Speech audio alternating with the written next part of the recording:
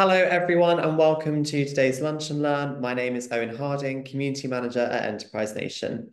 For those of you joining an Enterprise Nation Lunch and Learn for the first time, we are a vibrant community of small businesses and business advisors that exist to shortcut your route to trusted business support. Today, I'm delighted to introduce Steve. He will share how to explain the problem your product addresses, how it provides a solution, and the future and features, sorry, which enable this. If you have any questions throughout the webinar, please post them in the chat and we'll do our best to answer them at the end of today's session. Today's webinar will be recorded and we will send a follow-up email to you with the recording and further resources later on today. Steve, over to you. Brilliant. So, hope everybody can see my screen. Thank you very much, Owen, for uh, hosting me and Enterprise Nation for giving me the opportunity to do this. So, uh, my name is um, Steve Tunnicliffe Wilson. I've helped them build, sell many products. These days, I support entrepreneurs to raise investment and to grow their own businesses. These tips are based on hundreds of pitches I've seen from startups and from sales reps, as well as my own work.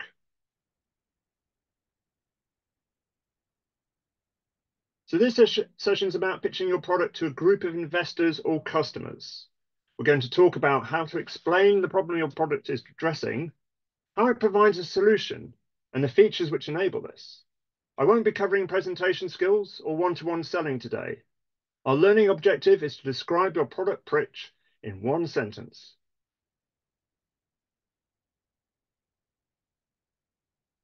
This is an interactive session, so please scan the QR code with your phone or go to Menti and enter the number above. I'll appreciate your contributions during the session. I'll, I'll leave you a minute to uh, do the scan. Obviously, if you're watching on your phone, you need to try and type the number in instead. That's the, the challenge. Um, there will be, the number will feature on, on the later slides as well, so don't worry if you haven't done it in time.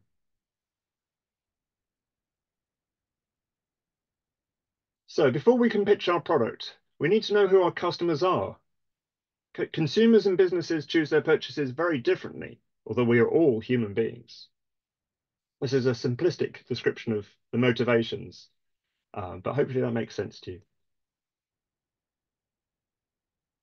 So who are your customers? Please respond to the Menti and let's see how many of you are selling to customers, consumers, or other businesses. The code is at the top there if you need to um, type it in. I'll just check the chat to see if this is all working fine.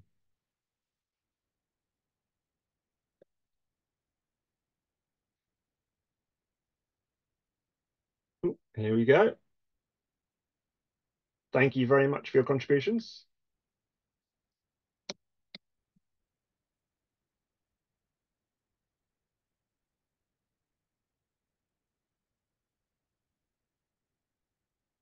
That's fascinating. Right. So we've got quite a lot more B2B um, people with customers than people selling direct to consumers. That is interesting. Roughly twice as much um, selling to businesses and consumers.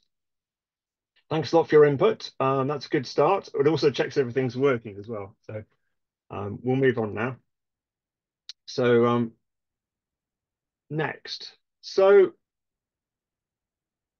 when talking about our customers' problems, we need to think about how it makes them feel.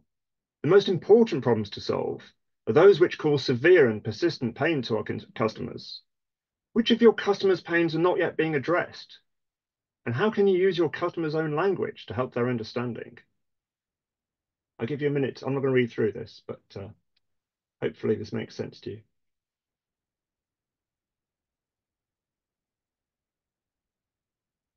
So we all have different reasons for buying things. We might be motivated by feelings or just be looking for a better deal. Whether we are buying for a business or just ourselves, our motivations may be personally or commercially driven. Here are some possible pains to consider. Which of these are most relevant to your customers? I'll leave you to have a think about this. There are other lists as well, by the way. So if you're in the business of um, uh, providing promotion services to your customers. Um, there's a list of themes on those as well, but I couldn't fit them on the slide. So what are your customers' pains? This is a word cloud. This is going to be interesting. So please go to Menti and share which pains your customers are experiencing. if you can try and capture it in a word um, and just type it in, then it should appear here. Hopefully.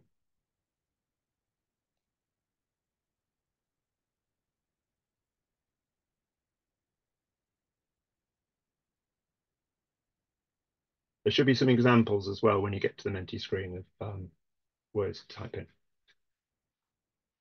Oh, there we go. Price, frustration, delay. Those are some of the ones I suggested, but there's a lot more other possibilities as well. I'll just give that a minute. Oh, the fun thing about this is, is that it resizes depending on who agrees. So you can type in the same word as somebody else and it just gets bigger. Funding. Hmm? Lack of direction. That's interesting. Time poor. Price price is a big one. That's getting bigger, isn't it? Unskilled labor force. Fantastic. Thank you very much for your contributions. This this is really interesting, actually. Frustration. a few ticks there. I'll just give it a little bit longer. Brilliant. Thank you very much for that. So price is coming out quite high, isn't it? But there's a lot of other reasons as well. There's lots of other pains.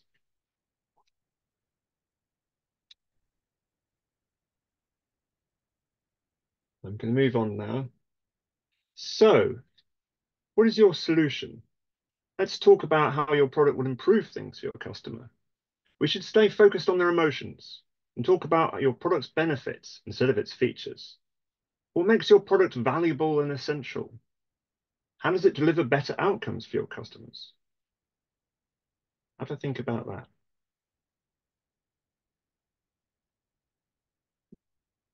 So here are some example benefits to get you started. Every product or service has different benefits for its customers. So what are yours? These are some themes, again, based on consumers and businesses and uh, or personal and commercial, we should say. So what are your solutions benefits? See if you can uh, go to the Menti and, and share which benefits your solution brings to your customers.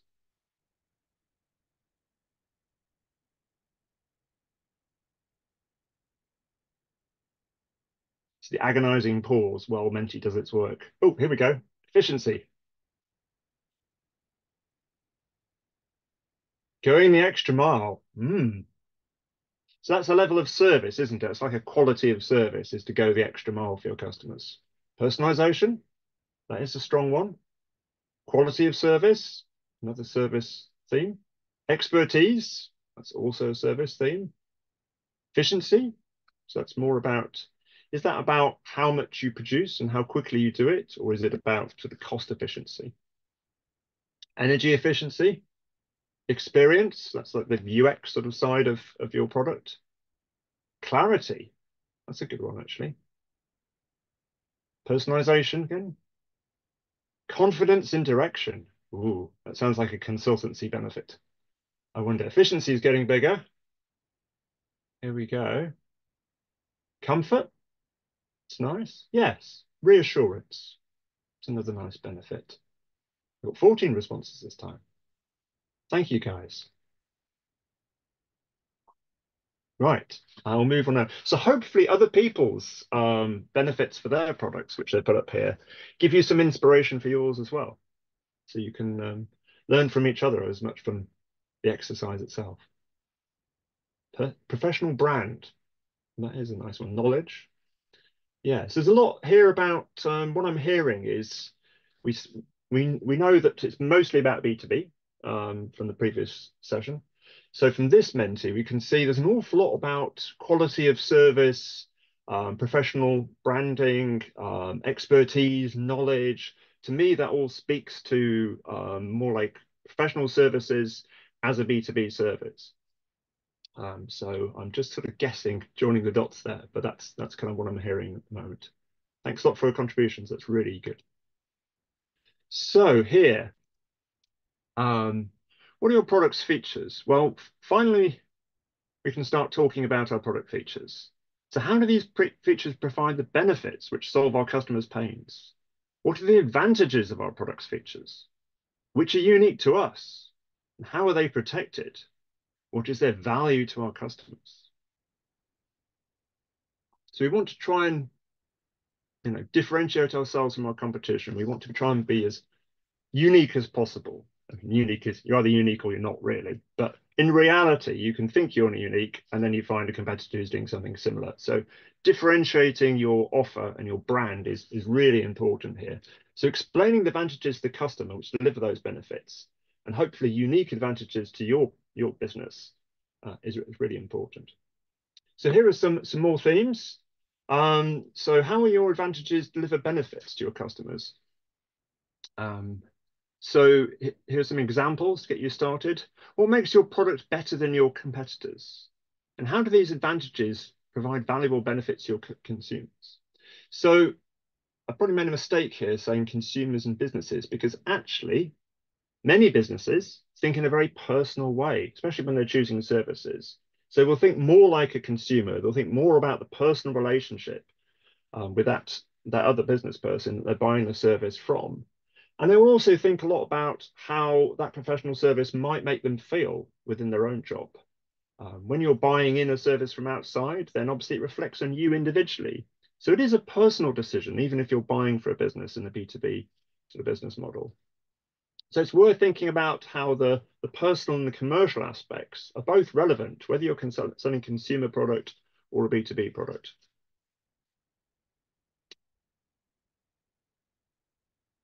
So now I'd like to ask you to um, think about your product advantages. So not just the features, but what is unique to you? What, what advantage do you have over your competition? And if you could share those on here and, and, and try and focus on the things that you do better than everybody else. Time for another drink. Hmm. One-stop shop. That's an all-in-one service, I guess. Durability, so it's a, a longer lasting solution. Sounds like a physical product maybe. Specialism, so niche services, know your market, do that one thing really well.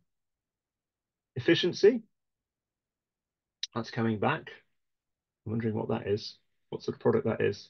Um, security, so that might be IT security, I guess, or it could be um, financial security specialism is getting bigger. I, I, I'm wondering here if there's uh, a lot of uh, B2B services which are quite specialist. Knowledge again. Experience. So is your you're offering a unique experience to your customers? So it's sort of like a benefit and an advantage. But we're trying to think about things here that we do better than everybody else. culturally forward relevant. Holistic view service. That's another kind of, yeah, a broad, a service which allows a broader picture of, of the customer's business, perhaps. Visibility. So is that about offering your your customers greater visibility within their own market? I wonder, efficiency is big again. Mm, quality, there we go. Thank you very much for these um, these responses. That's really interesting. Um, I think the culturally uh, relevant one is is something I'd like to know more about. Um, we got 13 responses again. This is about the same as last time. I'll I'll move on now. That's okay. Right, so here are my takeaways. So we've talked about understanding the pains which our customers' problems cause them. Um, trying to focus on the pains rather than just the problems themselves. It's experience, not just the, the abstract problem. And we've discussed how to provide benefits which solve these pains. And we've highlighted the advantages of our products, which enable these benefits. So let's try writing a sentence to describe how we solve our customers' pains by providing benefits through our product advantages. This is the essence of how to pitch our products. So I'm not going to ask for this in the Menti, but something perhaps a little bit of homework is you know what you put in the previous three Mentis. So if you join those up in a sentence and try and make something that looks a bit like this.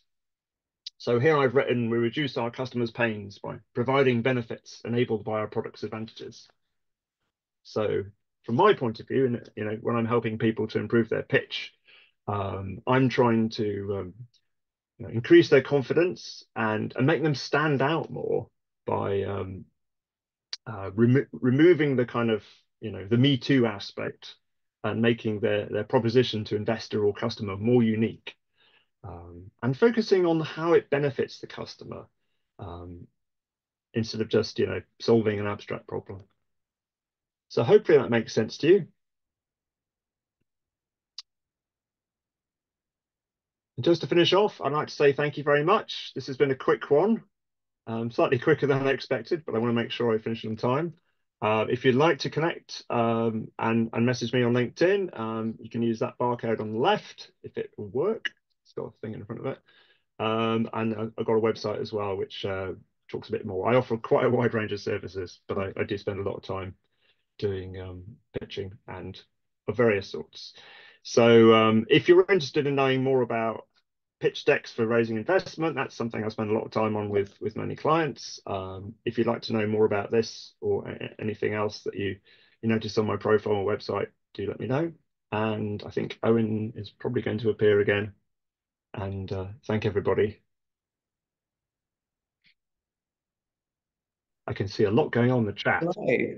Um, thank you very much. That was really interactive. That was a bit different for a lunch and I loved it. Um, great. Well, we haven't as of yet got any questions in the chat. However, I will say to our attendees, um, if you've got any questions, please do post them in the chat and we'll use this space now. Oh, we've got one here from Simona. Uh, is it possible to get the website link for those unable to capture the QR code? Can we do that? Yeah. Fab. Um, Stephen, question then, if you if you don't mind, what can the people in the room expect to um, get if they reach out to you for support with their business? I offer quite a range of services, to be honest. Um, pitching and particularly pitch decks for raising investment is a, is a very common thing I get asked about. Um, so, I, and there's a lot more, of course, to pitch decks than I've covered here because this is this really is about the kind of the first three slides of most standard pitch decks um, when you're raising investment. So the problem, the solution, the product features, how it works. Um, but the rest of it in terms of explaining the market, um, the competitors and the rest of it, that's a lot of the stuff I do as well. Um, and then in, in other areas, I do get involved in, in helping technical founders, you know, make a commercial presentation of what they've invented and try and find a good market for it.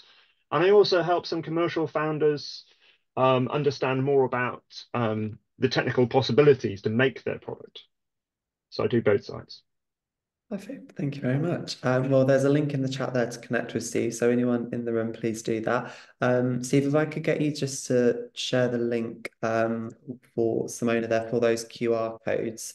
Um, to be fair, the LinkedIn one, don't worry about that because if um, anyone in the room that wants to click through, if you click through to the link that I've shared, um, I believe that there is a link to Stephen's LinkedIn profile, so you can just click through there. But if we can get that link to the website. Yeah, let me just give me a second to. Um, no worries, no worries. Um, yeah, yeah, please send your questions if you've got. So, did you enjoy this? Was it useful? Um, what would you like to see more of or less of in future?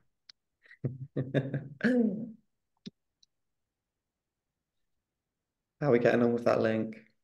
Hang on. It's the usual thing where you type it in, and I think I've got it right, but basically the um, Google will go, oh no, you want to search for this thing, not not um, find that website. I don't pay Google enough money, obviously. There you go. Perfect, thank you. And we have got one question whilst you've been looking for that link. So, said, what tips do you have in case you're pitching to a client many others are pitching to to stand out further? Great question. Try and figure out who else is doing the pitching. And one way to do that is to look on LinkedIn and see who their connections are. Because once you're connected to your customer, you can see who else they're connected to. And you drill down and you see, oh, look, my competitor salesman is also connected to him. So which and and is is that salesperson in charge of a particular product? If so, what is that product and how does it compare with mine? So then you get into sort of competitor comparison matrices, which is a perhaps another lunch and learn one day. Um, but you know you need to look at your product versus all the competitors products which you think might be pitched against yours and go through just be honest with yourself about how you stand out it's very easy to believe your own sales pitch quite often. So listen to your competitor's sales pitch try and see if they've done anything on youtube or other videos read their product literature compare it honestly against yours try and look at all it's, it's like a top trump sort of game as to what they do that you don't do and how do you message against that. So there's a whole kind of i'm not going to get into kind of sales training because i'm not really that expert but there's a whole kind of science about how you do objection handling and how you make sure that if if your customer sat there and says well i've just heard this great pitch from your competitor and it sounds marvelous then you've got an answer for that so if you can try and figure out what the objections might be because the things that look better in their literature compared to yours, then you've got an answer for that. So prepare those answers in advance, prepare your objection handling, get it ready before you walk in. Beautifully said. Thank you very much. Well, um, I think that leads us nicely to conclude this presentation. So thank you very much. Uh, thank you to our attendees watching. As I said at the start, this has been recorded and you can expect a follow-up email later on with a copy of the recording and further resources. But for now, all that's left for me to say is thank you for attending. Thank you, Stephen. And uh, to everyone, enjoy the rest of the day. We hope to see you soon. Thank you. Goodbye. Bye.